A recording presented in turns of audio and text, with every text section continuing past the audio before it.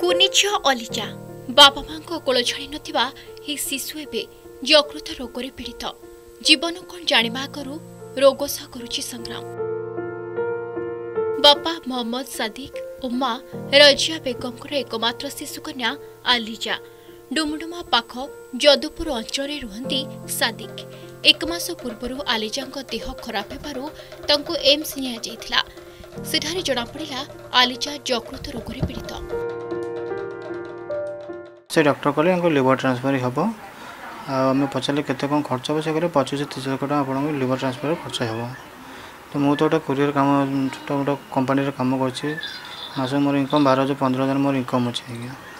ଆଉ ମୁଁ ତ ଏତେ ଟଙ୍କା ଦେବା ପାଇଁ ମୁଁ ସକ୍ଷମ ନାହିଁ। ଆପଣମାନେ ଯଦି ମୋତେ ଟିକେ ସାହାଯ୍ୟ କରିବେ ସରକାର ଯଦି ମୋତେ ସାହାଯ୍ୟ କରିବେ ତାହେଲେ ମୁଁ ଆପଣଙ୍କ ପାଖରେ ବହୁତ ଚିରପକୃତ ହେଇକି ରହିବି। ତ ଆମ ପାଖରେ ତ ଏତେ ପଇସା ନାହିଁ କି ଆମେ ବାହାରେ ଯାଇକି ଲିଭର ଠିକ୍ କରିପାରିବୁ। ତ ଆମେ ସାହାଯ୍ୟ ମାଗୁଛୁ ସମସ୍ତଙ୍କୁ କି ଆମକୁ କିଛି ବି ଇଏ କଲେ ସାହାଯ୍ୟ କଲେ ଆମେ ଆମ ପିଲାକୁ ବଞ୍ଚାଇ ପାରିବୁ। ଆଉ ଆମକୁ ପିଲାକୁ ନେଇକି ଲିଭର ଟ୍ରାନ୍ସଲେସନ୍ କରିବାକୁ ଯିବୁ ବାହାରକୁ। ଆଲିଜାଙ୍କ ଚିକିତ୍ସା ପାଇଁ ପଚିଶ ଲକ୍ଷ ଟଙ୍କା ଆବଶ୍ୟକ। କିନ୍ତୁ ଏତେ ଟଙ୍କା ଯୋଗାଡ଼ କରିବା ପାଇଁ ପରିବାର ଲୋକ ଅସମର୍ଥ। ଏକ ଘରୋଇ ସଂସ୍ଥାରେ କାମ କରୁଥିବା ମହମ୍ମଦଙ୍କ ବେତନରେ ପରିବାର ଖୁବ୍ କଷ୍ଟରେ ଚାଲେ। ଏମିତିରେ କେମିତି ଝିଅର ଚିକିତ୍ସା ହେବ ସେ ନେଇ ଚିନ୍ତାରେ ସମସ୍ତେ।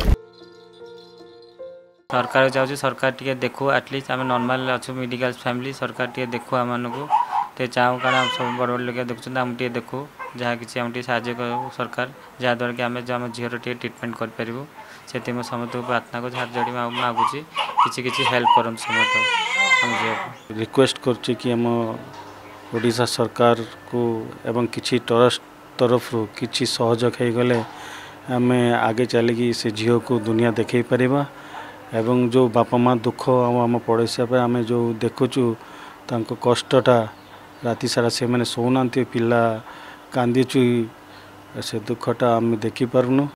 ଚିକିତ୍ସା ଅଭାବରୁ ଆଲିଜାର ସ୍ୱାସ୍ଥ୍ୟ ଅବସ୍ଥା ଦିନକୁ ଦିନ ବିଗିଡ଼ିବାରେ ଲାଗିଛି। ସରକାର କି କେହି ସହୃଦୟ ବ୍ୟକ୍ତିଙ୍କ ସାହାଯ୍ୟ କଲେ ଏ କୁନି ଝିଅର ଜୀବନ ସଳଖି ଯାଆନ୍ତା। ଆପଣ ସାହାଯ୍ୟ କରିବାକୁ ଚାହୁଁଥିଲେ ଏହି ନମ୍ବରରେ ସାହାଯ୍ୟ କରିପାରିବେ। ଭୁବନେଶ୍ୱରରୁ କ୍ୟାମେରା ପର୍ସନ ଟୁନା ମଣ୍ଡଳଙ୍କ ସହିତ ଅଭିନୟ ଆଦିତ୍ୟ ନାୟକଙ୍କ ରିପୋର୍ଟ ଅର୍ଗସ୍ ନ୍ୟୁଜ୍